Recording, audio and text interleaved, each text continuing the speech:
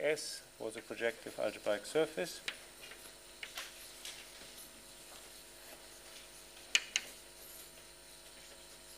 over the complex numbers.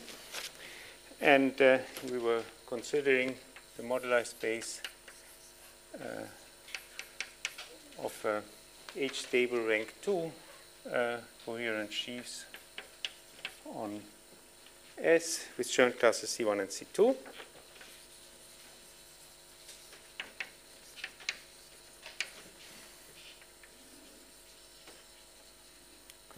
Torsion free.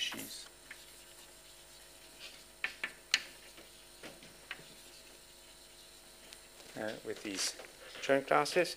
And uh, we also, I also had introduced the Hilbert scheme of points, Sn equal to Hilbert S, which uh, parameterizes zero-dimensional subschemes.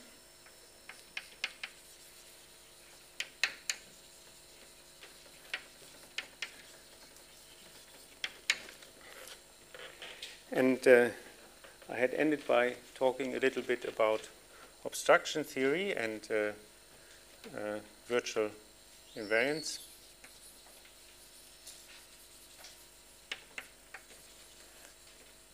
So for the moment, I just want to record that this means we have a complex, so just 2 e minus 1 to e0, complex of vector bundles.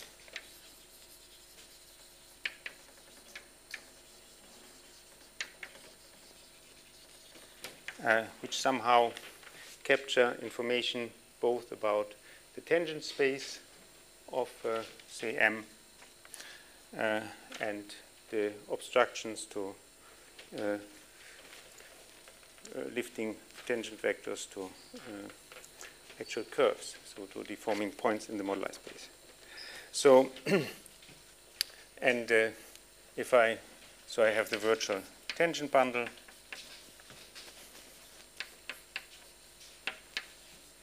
which would be E0 minus E1, where EI is equal to the dual of E upper I.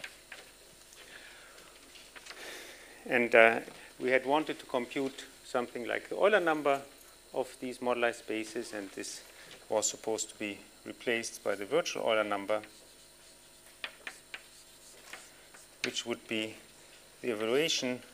Ah, so if one has uh, such an obstruction theory with these properties, it leads to the existence of a virtual fundamental class.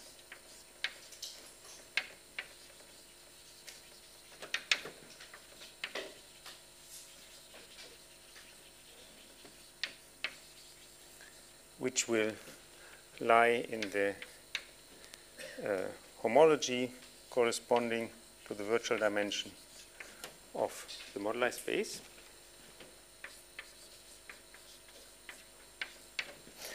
And so we can integrate any homology class over this homology class. In particular, we can take the top Chern class of uh, the virtual tangent bundle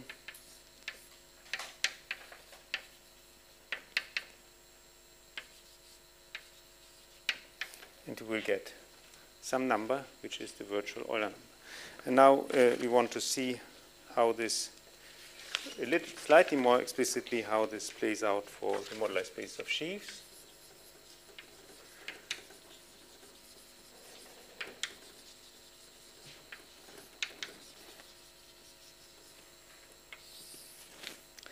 So uh, I don't need it, but for simplicity, I will assume that we have a universal sheaf on the moduli space. So let E over S times the moduli space be universal sheaf.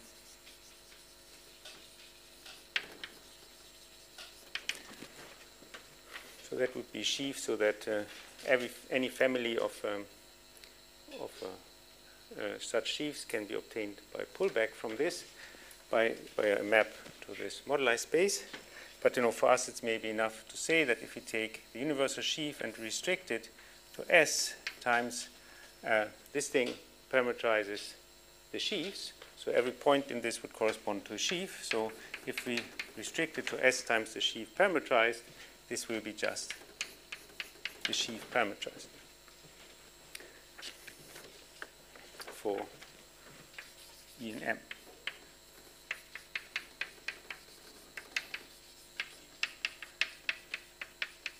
Okay, so this is this universal sheaf. And then I will just write down so what the dual of the obstructions theory is.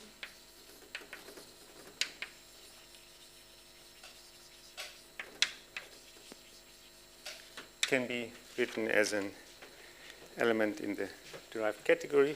So we have, so we look at the projection from S times the moduli space to the moduli space. And uh, then the dual of the obstruction theory is uh, R P lower star of R hom E E 0 shifted by 1 in the derived category of M. So this means, um, so this is, we have, so an element here would be a, basically a complex of uh, vector bundles on M. And uh, this one means we have shifted it by one to exchange, uh, have all the signs the opposite if we look at the alternating sum. And here, what this basically means is that the tangent, uh, so this means trace free, so the, the tangent uh, to the moduli space at the point corresponding to E will be uh, x1 e e trace free and the obstructions will be x2 e e.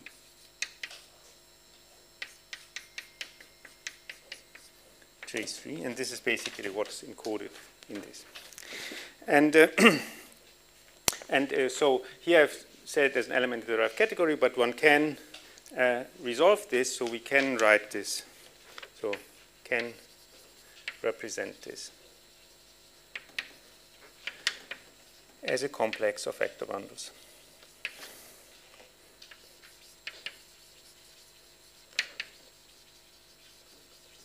on M, which would be E0 goes to E1, which is uh, just the dual of this, so it corresponds to the tangent bundle. So the virtual tangent bundle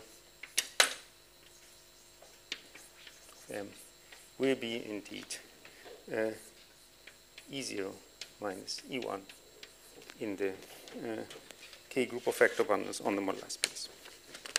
So this is, uh, and so this gives us uh, the following. Uh, by uh, this, what I told you about this general thing about virtual smooth varieties and obstruction theories. This gives us a certain package of things, uh, namely, so this gives us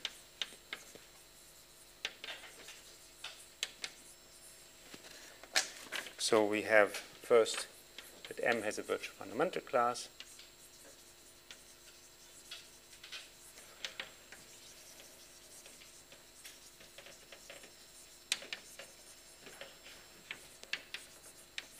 The correct dimension, uh, then we can uh, integrate. Uh, we have the virtual tangent bundle as we have seen. So the virtual Euler number of M is the integral over the virtual fundamental class of uh, this thing.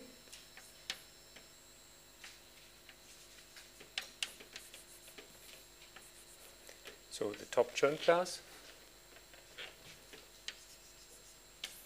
So let me write CVD of M of um, uh, the virtual tangent bundle. And we also have, as I said, a virtual, uh, as I said the other time, a virtual structure C. So M has a virtual structure sheaf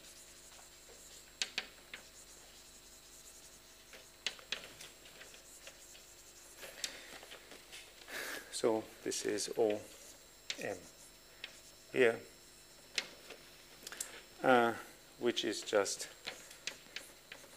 an element in the Grothendieck group of sheaves, of coherent sheaves on the moduli space. And this allows us for any vector bundle, so our complex of vector bundles on M, we can compute uh, we can define. The virtual holomorphic Euler characteristic.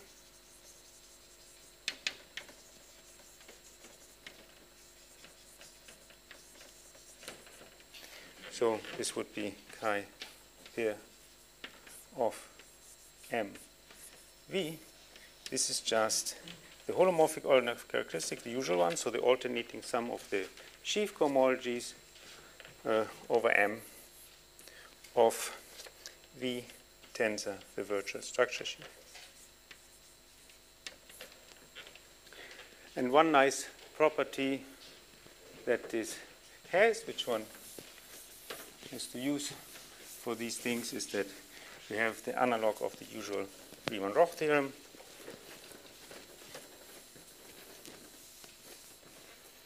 So virtual Riemann-Roch.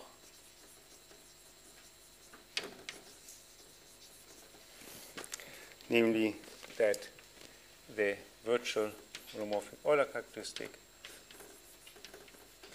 will be equal to the elevation on the virtual fundamental class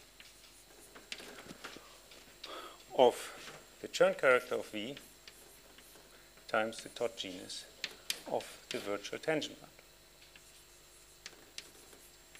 I mean, I expect you are familiar with these, so the Chern, uh, so these are certain expressions in the Chern classes of these things, which are kind of standard.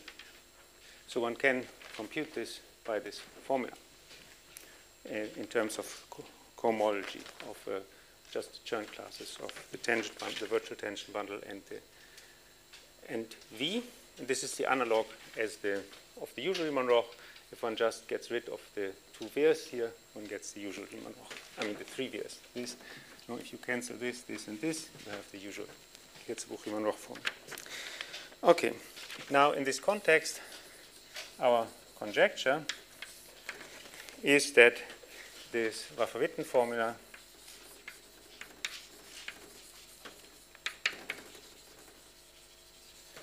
holds for these virtual invariants, so the, for the virtual Euler number.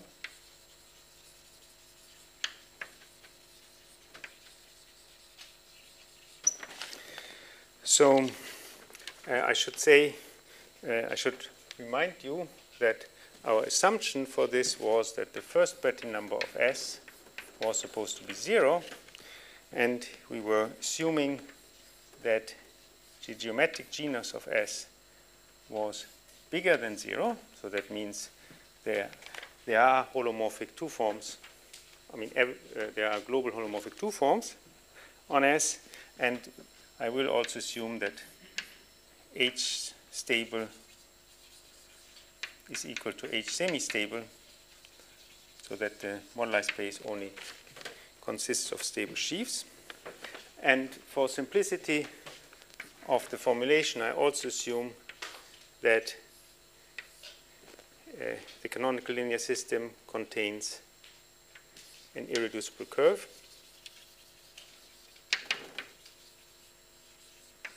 So that means there is a curve C, which is irreducible, so in just one piece, uh, which uh, is a zero set of a holomorphic two form. And in this case, the assumption, the, the statement was that this virtual Euler characteristic of M. So I maybe write out M S H C1 C2 is equal to the coefficient of x to the virtual dimension of m of uh, now let me use 8 times 1 over this eta bar of x squared to the 12, 2 times. This is total holomorphic Euler characteristic of S times 2 times eta of x to the 4 squared divided by the standard theta function to ks squared, where maybe I should remind you that eta bar of x was the product 1 minus x to the n over all positive integers, and this theta function was just the sum over all n in the integers of x to the n squared. So a standard Jacobi theta function. And uh, just to remind you also, the virtual dimension of this moduli space was just the number 4c2 minus c1 squared minus 3 times the holomorphic Euler characteristic. Okay, so this is the statement. So we will want to um, kind of check the conjecture in many cases, but we are not going to prove it. We will just be able to make computations that confirm it. And um, so we want to check this conjecture and refine it. Maybe I can first look at the refinement. So what would be a refinement? So the Euler number is kind of the, more or less the coarsest topological invariant that you can assign to a topological space. So you can look at finer invariants. Uh, and so one particularly nice one one can look at is the chi-y genus. So let me do it for the chi-y genus. So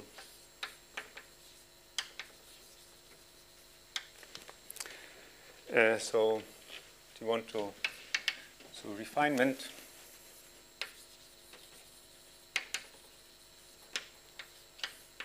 replace uh, the Euler number by the chi-y genus. So the chi-y genus uh, is usually, so if X is a smooth projective variety, then the chi-y genus can be expressed in terms of Hodge numbers. So, so we have these Hodge numbers, HPQ of X, which are, say, the dimension of HP of X and the holomorphic, the sheaf of holomorphic Q forms. Uh, and uh, then the chi-y genus of X will be just the sum over all P and Q. We have partially an alternating sum uh, of these Hodge numbers.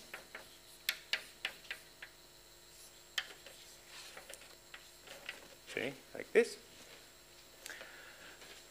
And um, I can also write this, uh, no, as this is uh, the homology of this, it means we are looking at the holomorphic Euler characteristics of these sheaves and summing them up.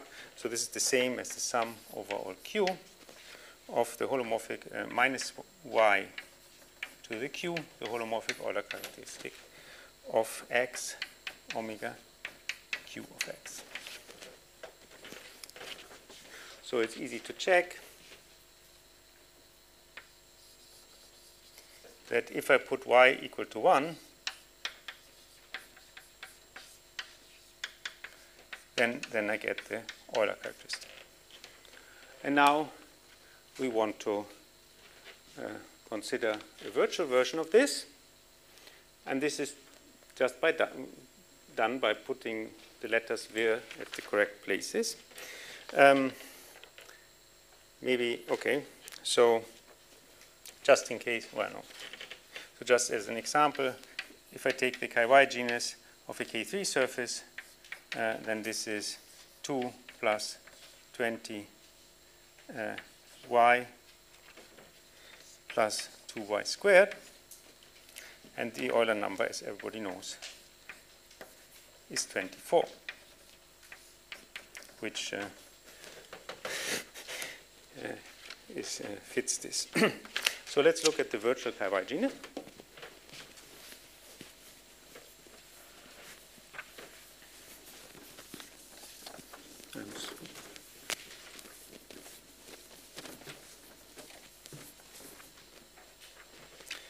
So this is just as follows.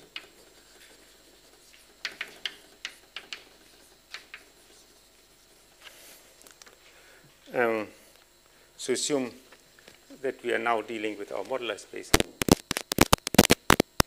Ah. Okay, hope it's still alive. it still works? Okay. Um, so we put, uh, it's clear, in some sense clear what the holomorphic, the virtual holomorphic P form should be. So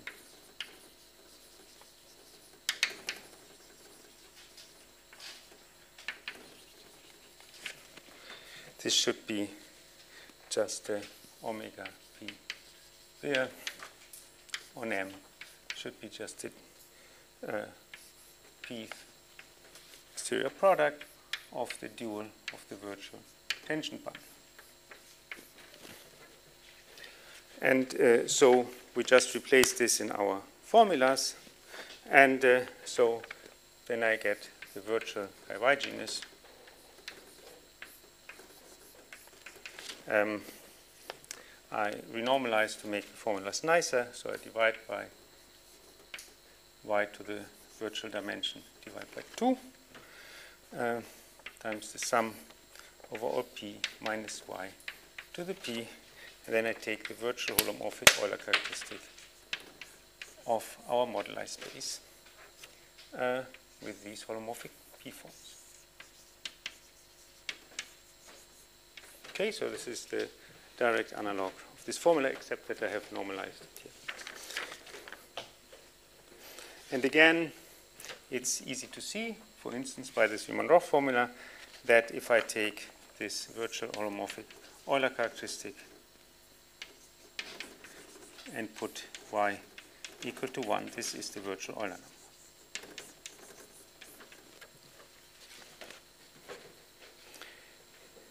And so now for the virtual chi genus, we will write a very similar formula. So we put now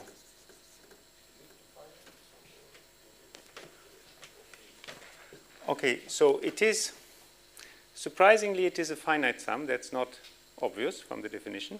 So obviously, by definition, the sum is infinite because, uh, you know, as it's a difference of two classes in the um, in, in the uh, uh of two vector bundles, there are infinitely many terms. It's symmetric powers and alternating terms.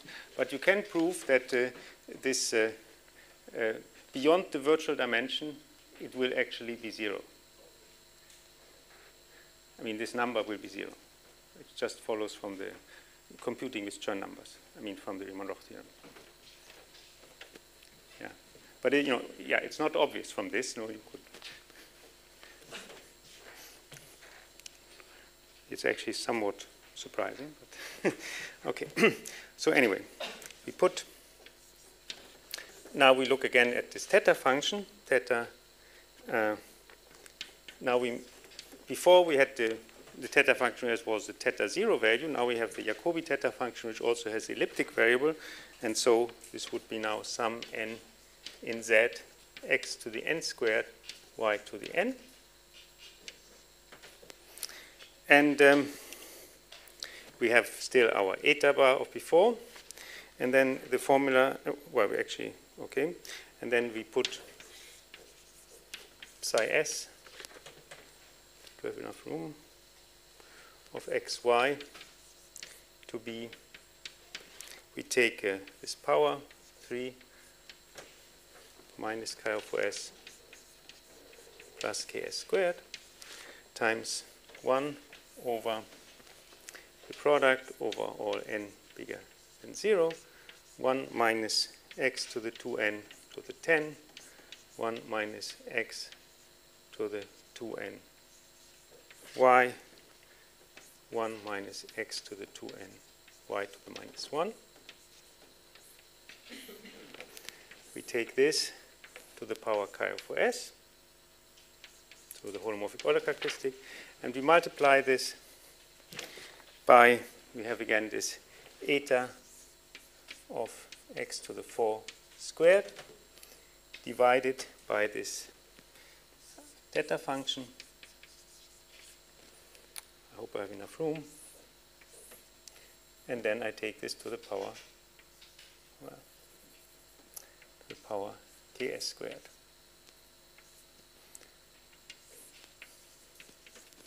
Okay, so this was a square.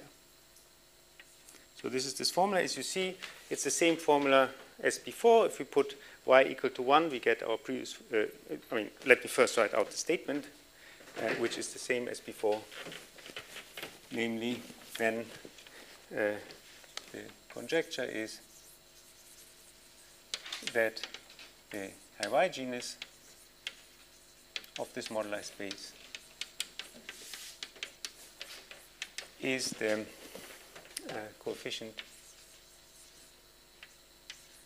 of x to the virtual dimension of m of this expression.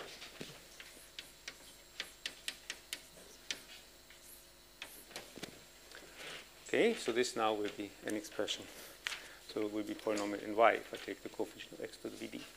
And so this is the same formula as before. If we put uh, y equal uh, to 1, this will just be eta of x squared to the 12 as we had before.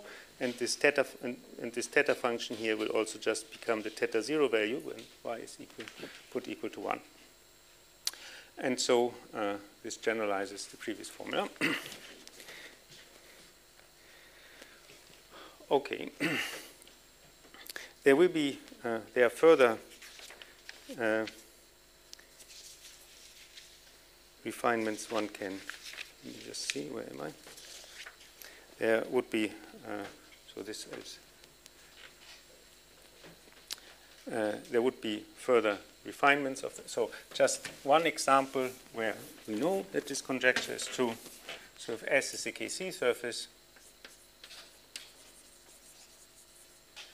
then it is known that uh, uh, under our assumptions that stable is equal to semi-stable and so on, it's uh, known that this moduli space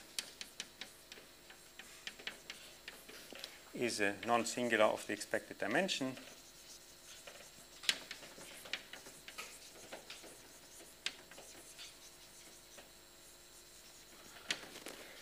And um, it is actually, for instance, by uh, Yoshioka and others, one knows that uh, its deformation in equivalent to the Hilbert scheme of points on the surface of the same dimension. So in particular, the chi-y genus of uh, this thing will be equal to the, that of the Hilbert scheme of points of uh, the virtual dimension by, by 2 because we know that the dimension of the Hilbert scheme is twice the number of points. And uh, uh, then ks squared is equal to 0. And this formula here is a standard formula for the. Uh, ah. Actually, that's not true. so yeah, I should maybe have, shouldn't have given this example. So this is, this is an example of the formula in a case when the formula doesn't apply. Because we had assumed that uh, the um, uh, that, that we had an irreducible canonical curve. So, so therefore, here curve is x is equal to 2, and here ks squared is equal to 0, so we get a factor 2 here. So we're actually wrong by a factor of 2, but still, this is precisely what the formula, the general formula predicts. Okay.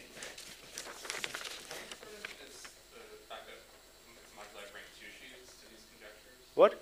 So you said it's the moduli space of rank 2. yeah. If I increase the rank, do I have similar conjectures? Yeah, yeah. Uh, I mean, so we have worked it out in rank 3 what the statement is. I will maybe, if I have time, explain it later.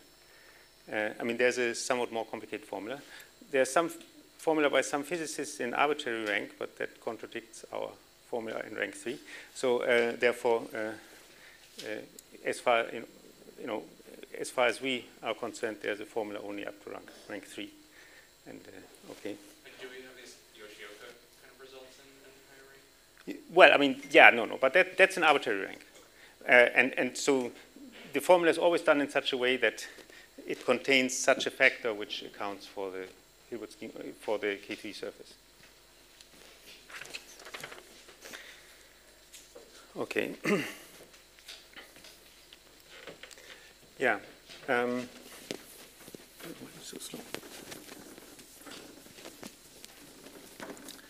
So there are also further generalizations which I think will not speak about, so one can also generalize this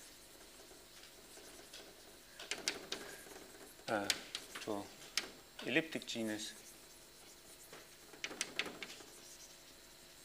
and to some extent to the cobordism class.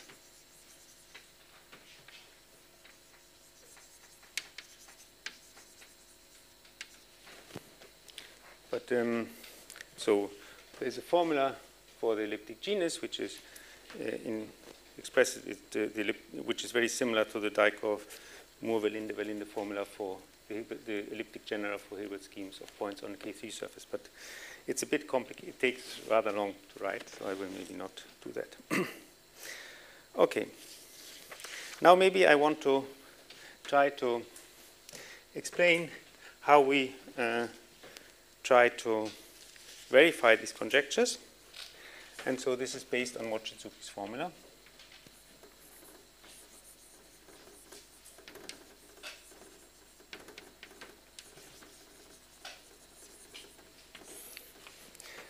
So this is uh, our principal tool. So this uh, computes intersection numbers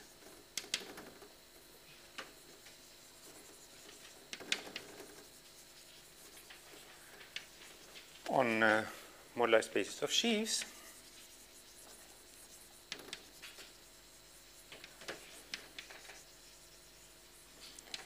in terms of um, intersection numbers and Hilbert schemes of points.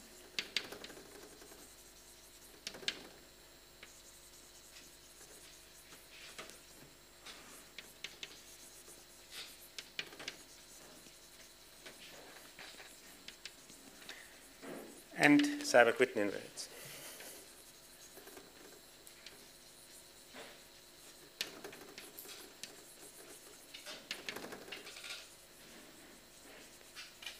So I should maybe say it computes virtual intersection numbers. So the integral over the virtual fundamental class of some cohomology class. Okay, so maybe I can briefly recall the Seiberg-Witten invariants. Just not much, but just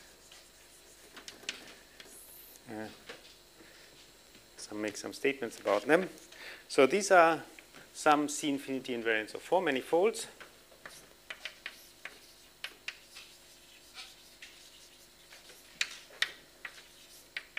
of differentiable four manifolds.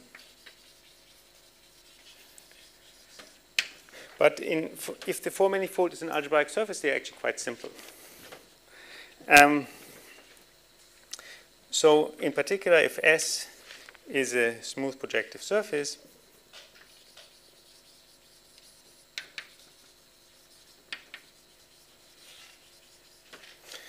um, and we make our assumption that the geometric genus of S is bigger than zero and the first Betti number of S is zero, uh, they are rather easy to compute.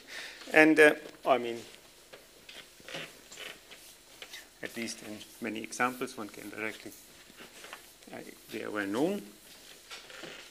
So, anyway, so the Seiberg-Witten invariants can be viewed as a map, as W from the second cohomology to the integers. So a class A is sent to the Seiberg-Witten invariant of A. I should maybe say that in gauge theory, uh, it's a bit different. You associate a Seiberg-Witten invariant to a spin C structure. A spin C structure would be a characteristic cohomology class. So one which is, uh, say, congruent modulo 2 to the canonical class. And uh, so the relation of this to the standard ones is that our Seiberg-Witten invariants are equal to the standard ones uh, uh, for 2a minus case. Anyway, in gauge theory. But anyway, this is just for simplicity of notation. And so we have this map. Most of the time, uh, most of class, the classes are mapped to zero. And so if the Seiberg-Witten invariant of A is non-zero, then A is called a Seiberg-Witten class.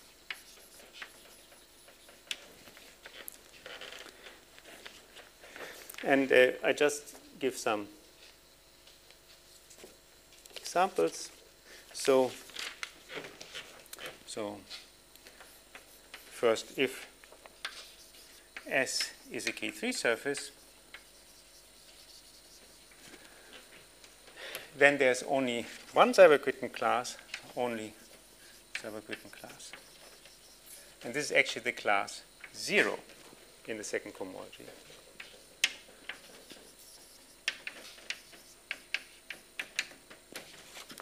Is the invariant is 1. Uh, if um, this is if we have a uh, an irreducible canonical curve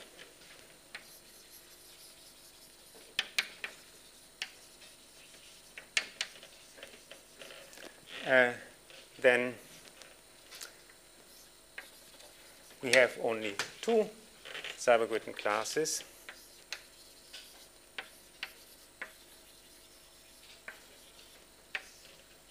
They are zero and the canonical class, and uh, the Seiberg-Witten invariant of zero is again one, and the Seiberg-Witten invariant of Ks is minus one to the holomorphic Euler characteristic of S. So everything is known. And there are other statements. For instance, if we blow up a surface in a point, we have a simple relation between the Seiberg-Witten invariants. So if S hat is the blow up of S in a point, then the Seiberg-Witten invariants of S hat uh, the Seiberg-Witten classes of S hat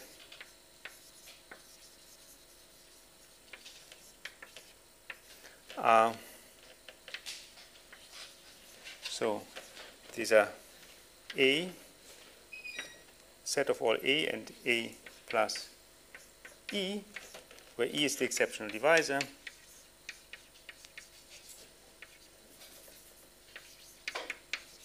Of this blow up and um, A is the Seiberg-Witten class on S. So for this I mean A is the pullback from S so uh, of, of A on S. Okay, uh, there are other examples, for instance, I have a simple description for elliptic surfaces, but maybe I will not write it. So you can see at least it's very uh, they are quite simply described in a quite simple way. In particular, if I uh, assume that Ks contains an irreducible curve, then I know explicitly what the Seiberg-Witten invariants are. And uh, this is the reason why I restrict uh, in this presentation my attention to the case that it contains an irreducible curve. Otherwise, we also have a formula, but uh, it will be more complicated. It's some formula in terms of the Seiberg-Witten invariants. Okay, so this is the first part. And now we have to kind of, the Mochizuki formula is unfortunately rather complicated.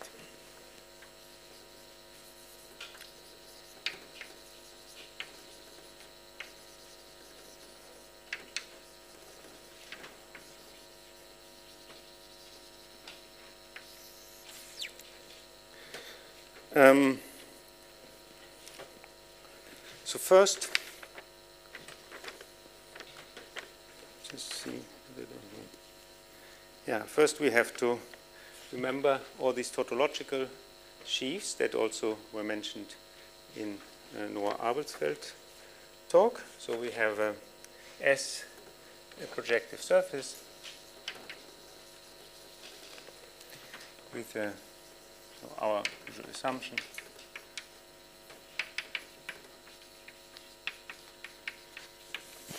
So we look at this diagram. Assume we have here Sn1 times Sn2, so the Hilbert scheme of n1 points and 2 points times S. We can project it to S and we can project it to these Hilbert schemes.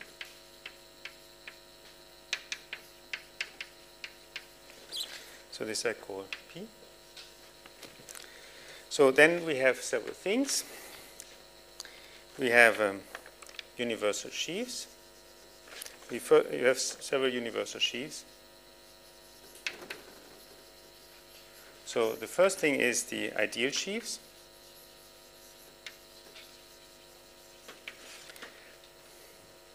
So if we have Z and S, so the universal subscheme, which is just can be described as the inside S times the Hilbert scheme of n points, this pairs of a point in S and a subscheme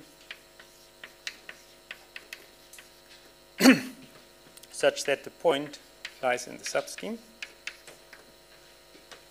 So this incidence variety, uh, this uh, is uh, maps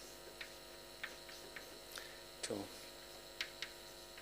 Sn, and uh, the fiber over every point here will be the subscheme parametrized. So this is the universal family. And so um, we can look at its ideal sheaf.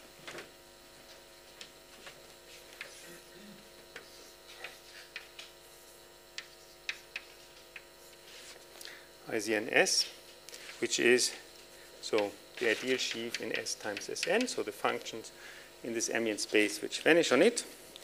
This is the universal ideal sheaf.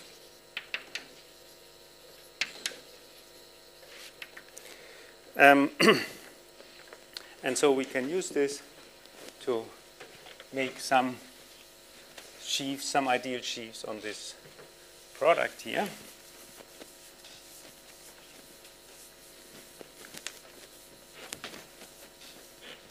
So if um, L is a line bundle on S, uh, we can put for the II of L to be. So yeah now I don't so in this case I actually I take this ideal sheaf. So assuming the situation uh, of the nth ideal sheaf, so the factor, I take here the projection to S times Sni, so i is equal to 1 or 2. Um, the pullback by that of the ideal sheaf of Ni, the, of the universal subscheme, and I tensorize this with the pullback of the line bundle. So this will be some sheaf on, uh, so I've pulled it back, so this is some sheaf on this product. And what is the property? So this is a sheaf on S times Sn1 times Sn2 with the property that if I restrict it to the point corresponding to, uh, so restricted to S times the point corresponding to two subschemes. Uh, this will be the ideal sheaf of the ith subs of these two subschemes tensorized with L. Okay, so this is one thing we can look at. And we can also look at the tautological sheaves, which were considered in Noah's talk.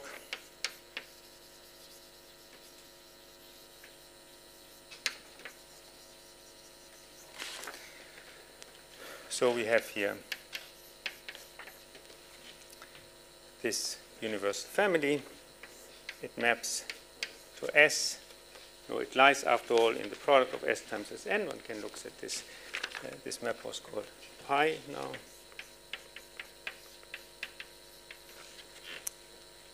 And I can look tautological sheaf on this thing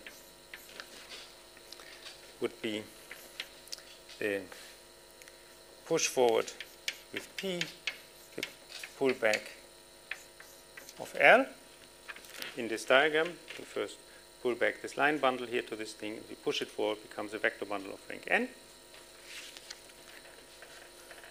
And so, so this is a vector bundle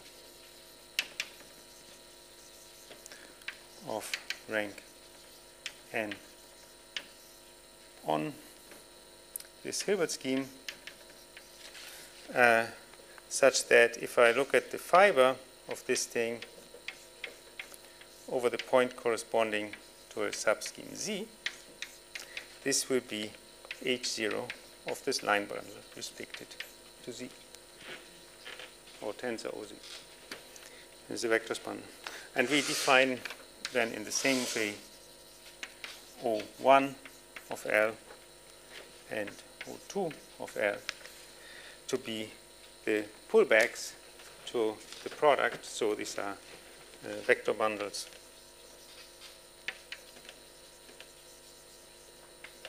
on SN1 times SN2 by uh, pulling back from the two factors, so OI of L is equal to P, uh, say SNI upper star of this sheaf.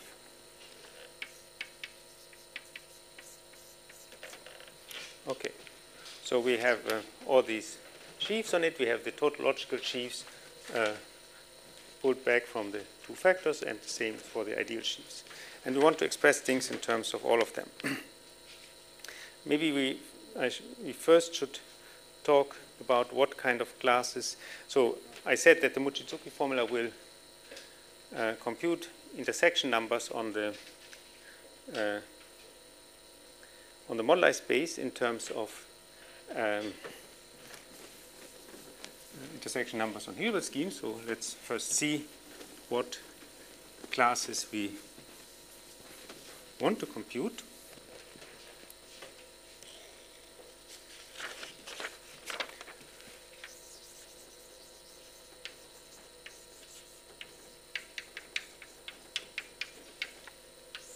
So uh, I assume again that we have a universal sheaf.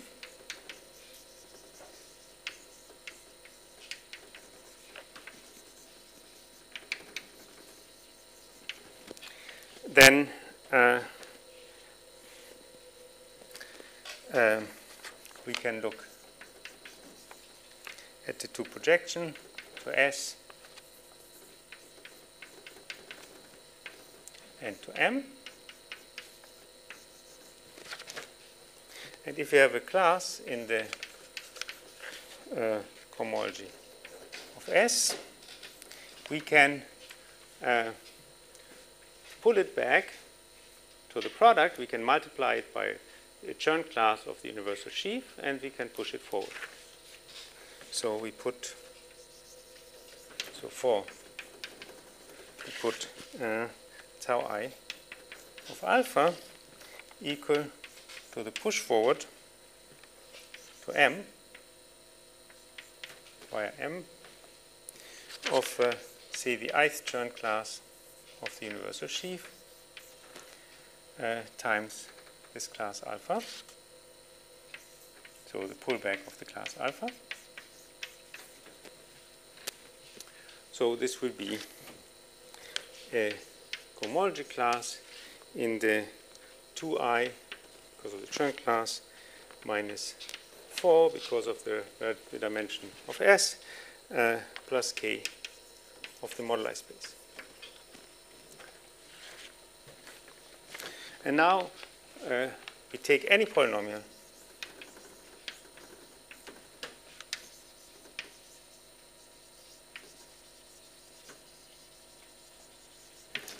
in these classes. So i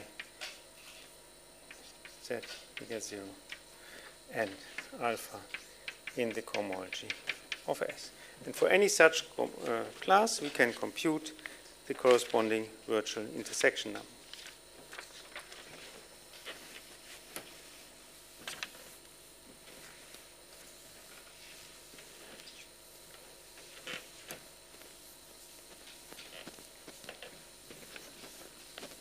So, Mochizuki's formula.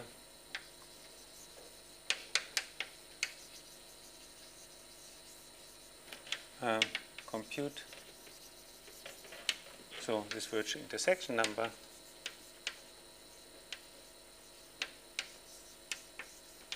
For any such polynomial uh, so on Hilbert schemes of points.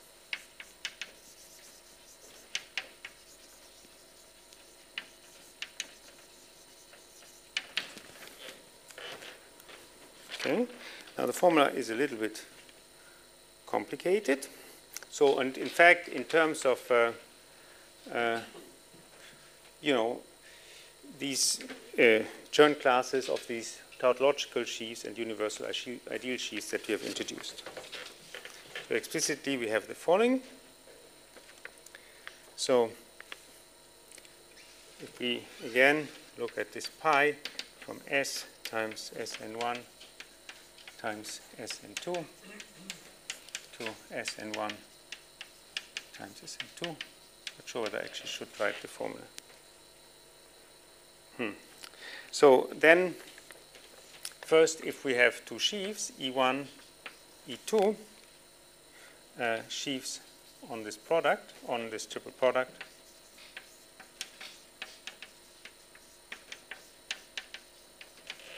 uh, we can redefine uh, this object Q of E1, E2, which is the Euler class of uh, minus the R pi push forward of the R hom of E1, E2. Okay, so this is a certain cohomology class that one gets for any two sheaves like this. And we also, okay, then um,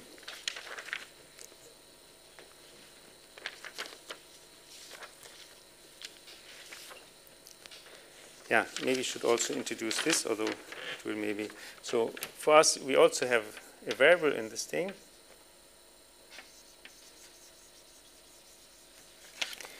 Um, if E is a vector bundle,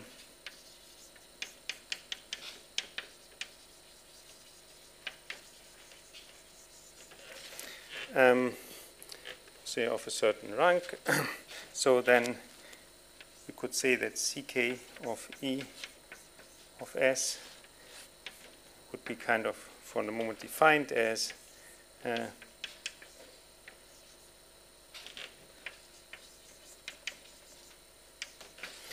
of uh, this expression.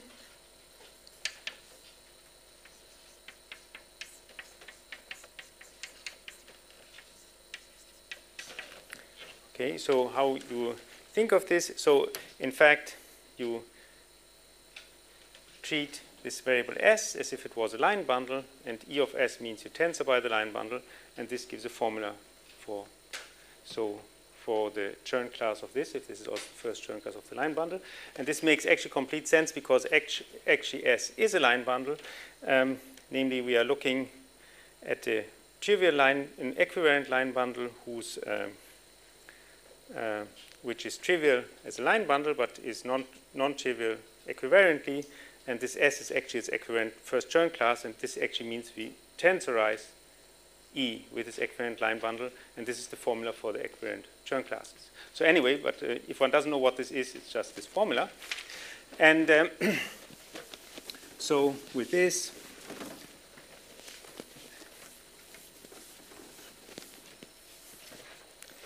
uh,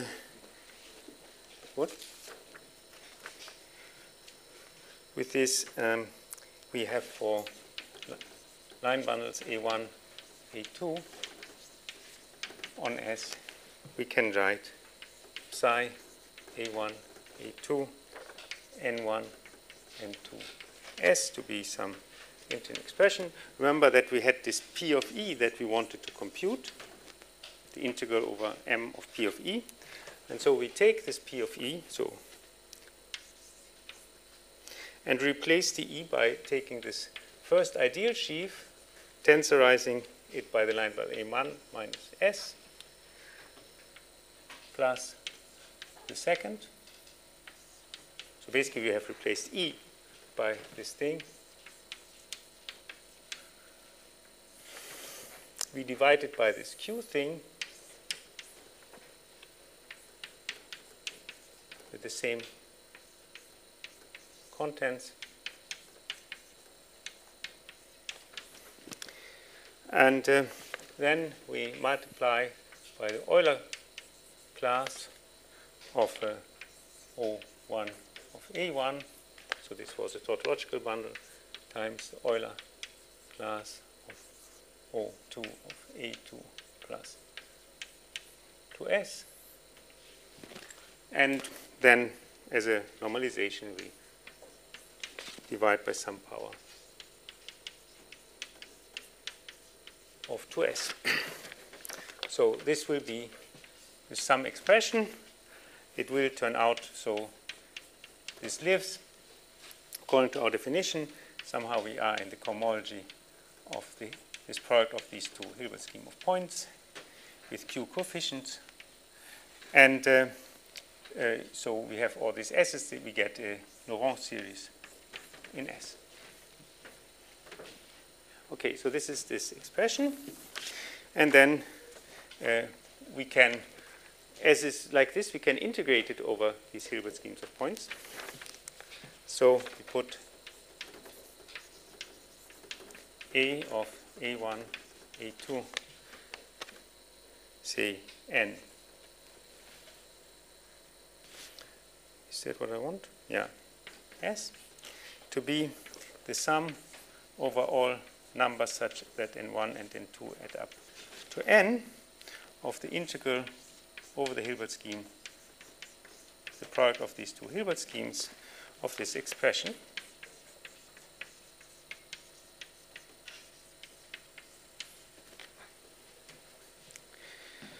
So this is just something we've written down. So this will be according to what we have here. This is some uh, power series in some Laurent series in S.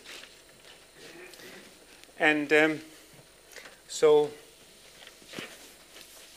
then the statement of Mochizuki's formula is that in terms of this, we can compute our integral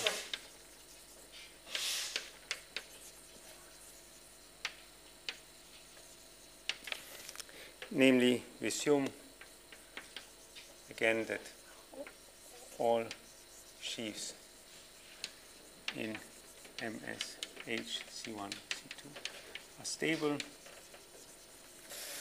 Um, we assume um,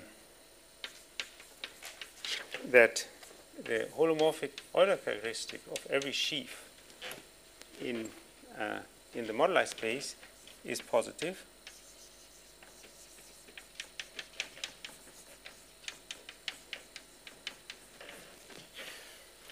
And uh, so this can always be achieved by the moduli. If we twist the sheaf, if we twist every sheaf in the moduli space by a line bundle, this gives an, me an isomorphism of the moduli space to itself. And um, so we can always twist in such a way that every sheaf has positive holomorphic Euler characteristic. Uh, and then for then for polynomial p as above, we have that if we want to evaluate this over the virtual fundamental class, this is equal to the sum over all ways how I can split up the first Chern class here as a sum of two classes where A1H, so H is our ample class, is smaller than A2H. And I multiply by the Seiberg-Witten rank of A1, and I take the coefficient of S to the 0 of this A thing here, A, uh, A1, A2. And then N is replaced by the second Chern class we have here minus A1 times A2, so which is a number because these are class in second homology, uh, comma S. Okay, so this is the answer. so one can, for one thing, so I think my time is essentially up. So in particular, uh, we will be able to see that we can have this, for instance, the uh, top Chern class of the virtual tangent bundle can be expressed in this way. And uh, so one can apply to compute uh, the virtual Euler number. And so what we have achieved here um, is that we have a, a reasonably, we started with a reasonably nice formula on this uh, space of sheaves, so of, of an intersection number on, on a moduli space of, of sheaves, and we have replaced it by a terrible formula on uh, the Hilbert scheme of points. And uh, so that doesn't really seem like a big improvement, but we will see uh, next time that one can actually work with it. Okay, thank you very much.